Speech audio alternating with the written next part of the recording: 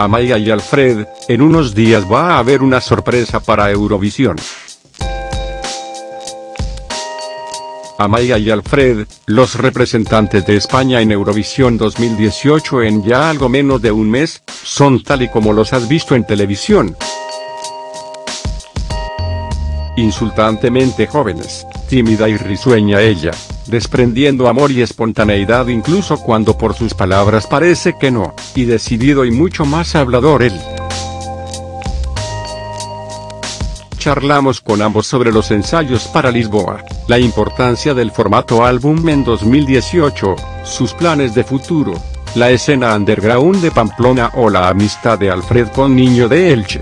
¿Qué tal van los ensayos para Eurovisión? La canción es una balada y no esperamos grandes aspavientos de baile set. Amaya, no, suspira se ríe. Y lo que más curiosidad da es el montaje para televisión. No sé si vosotros estáis solo enfocados en la toma vocalet. Alfred, estamos más enfocados en la toma vocal, en unos días va a haber una sorpresa en cuanto a la interpretación.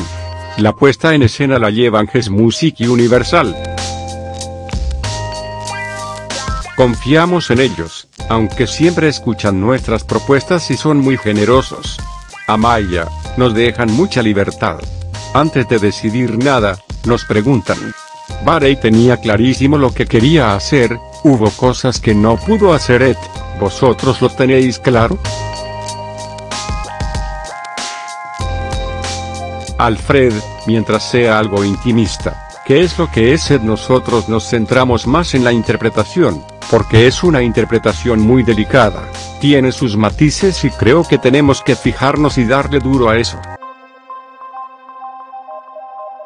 ¿Habéis visto cómo fue el montaje de otros países? Por ejemplo, la pareja con balada de Países Bajos de hace unos años.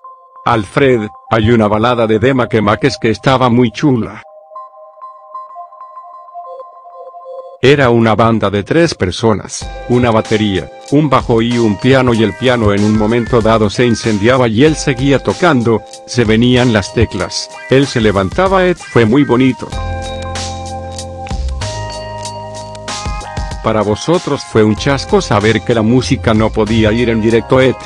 Amaya, un chasco tampoco, pero con música en directo tendría más encanto.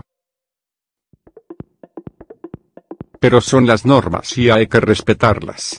Alfred, estamos súper contentos con el trabajo de Pablo Cebrián, con el arreglo musical. Es un honor tener una orquesta de cuerda que nos acompañe en ese arreglo. Alfred sobre si la versión original de tu canción era mejor, se llama maquetitis. Es una enfermedad que se produce cuando has escuchado mucho una maqueta. La versión final de lo malo sí me parece mejorada, pero la vuestra Ed no lo tengo claro, me parece que ha perdido espontaneidad, en concreto tu voz, Alfred, no sé qué efecto le han metido, pero me parece menos fresca. Alfred, se llama maquetitis. Es una enfermedad que se produce cuando has escuchado mucho una maqueta. Cuando sale la versión final, entonces tienes maquetitis. Bueno, te decía que la versión final de lo malo sí me parece mejor. Alfred, pero la maquetitis viene cuando viene, Amaya se ríe. En el festival veremos más la primera versión o la segunda versión. Alfred, yo creo que nunca hacernos una interpretación igual. Amaya, en directo es distinto, la voz no va a tener efecto si es lo que salga en ese momento. Lo haremos lo mejor que podamos. Depende de muchas cosas, por ejemplo de cómo está el público cada vez sentimos una cosa distinta cuando la cantamos, pero siempre es bonito. Cada vez sentimos una cosa distinta cuando cantamos tu canción, pero siempre es bonito. No os voy a preguntar por vuestra relación, pero hay una parte de vuestra relación que forma parte de la puesta en escena para Eurovisión. ¿Habéis hablado de qué pasaría si ese día no estáis bien, de si estáis peleados? De tener que ser profesionales, de tener que hacer una representación, como si fuera teatro? Hay una parte de las clases de los Javis que servían para eso. Hay que tener la situación en mente y saber reproducirla. Uno no puede perder saber quién es, ni la parte de intérprete que le toca. Hay que estar preparado para ello. Lo malo ha petado, incluso más que la vuestra, que a su vez hace mucho tiempo que una canción que va a Eurovisión no funcionaba tan bien. ¿Creéis que lo malo habría quedado mejor que vosotros? ¿Lo habéis hablado alguna vez? Alfred, no, la verdad es que no. No lo vemos como una competencia, como una competición. En Eurovisión nunca se sabe lo que va a pasar. Puede que sí, puede que no, pero no sabemos muy bien lo que habría pasado. No depende de nosotros.